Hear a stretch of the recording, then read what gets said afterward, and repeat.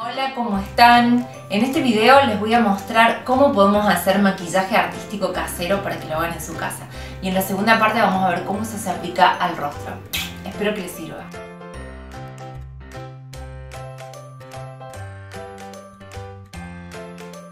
Vamos con los materiales.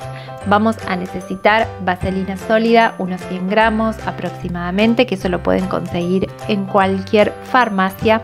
Para 100 gramos de vaselina sólida vamos a utilizar unos 75 gramos de óxido de zinc aproximadamente. Algunos utilizan maicena, pero vamos a utilizar óxido de zinc. Vamos a necesitar colorantes para torta de distintos colores vegetales. Vamos a necesitar recipientes pequeños para poder colocar la pintura, los colores, un recipiente más grande para colocar la base blanca y luego utilizaremos cucharitas y palitos. Primero vamos a armar la base del maquillaje que es la base blanca que luego iremos a teñir. Vamos a colocar la vaselina sólida dentro del recipiente que elegimos para la base o podemos hacerlo dentro de otro recipiente donde podamos revolver bien y vamos a ir agregando de a poco el óxido de zinc mientras vamos revolviendo, ¿sí? De a una cucharita y vamos revolviendo tratando de que no se forme ningún grumo y de que pueda formarse una pasta blanca homogénea. La base blanca está lista cuando podemos colocar el maquillaje sobre nuestra piel, lo extendemos y nos queda blanco, no se transparenta. Ahora vamos a hacer los colores. Para eso vamos a poner parte de la base blanca adentro de un recipiente que hemos elegido y le vamos a poner una pizca de colorante y vamos a comenzar a revolver hasta que se forme el color que queremos para nuestro maquillaje. Y así hacemos con cada uno de los colores que queremos formar para nuestra paleta de maquillajes. Miren qué hermoso que quedó.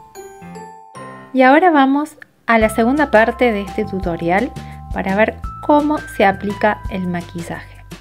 Para eso vamos a necesitar la paleta de colores que estuvimos haciendo, todos los colores que tengamos. Vamos a utilizar también la base blanca, que esa nos va a servir mucho para dar brillos, sombras. Vamos a necesitar también un delineador negro tipo lápiz. También podemos utilizar un delineador como este que está acá, que es tipo pincel puede ser líquido también. Vamos a utilizar hisopos, muchos hisopos, ya que con los hisopos vamos a aplicar el maquillaje de color en la piel, en el rostro.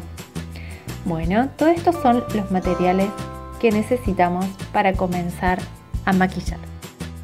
Para comenzar a maquillar tenemos que partir de un diseño, por más de que lo adaptemos. Yo elegí este diseño y voy a adaptarlo. Primero con el delineador vamos a hacer el dibujo en el rostro de los niños. Una vez que tengamos el diseño dibujado en el rostro, vamos a comenzar a maquillar con los colores, comenzando siempre de atrás hacia adelante. Sería del color que abarca mayor superficie hacia los detalles.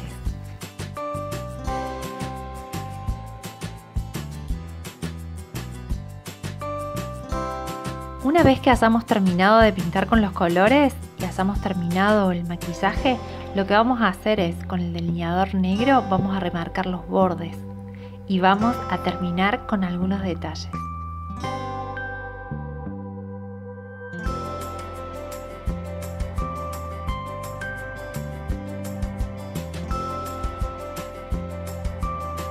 Bueno, ya hemos terminado. Entonces ya saben cómo hacer maquillaje artístico y cómo aplicarlo en la cara de los niños. Espero que les sea útil.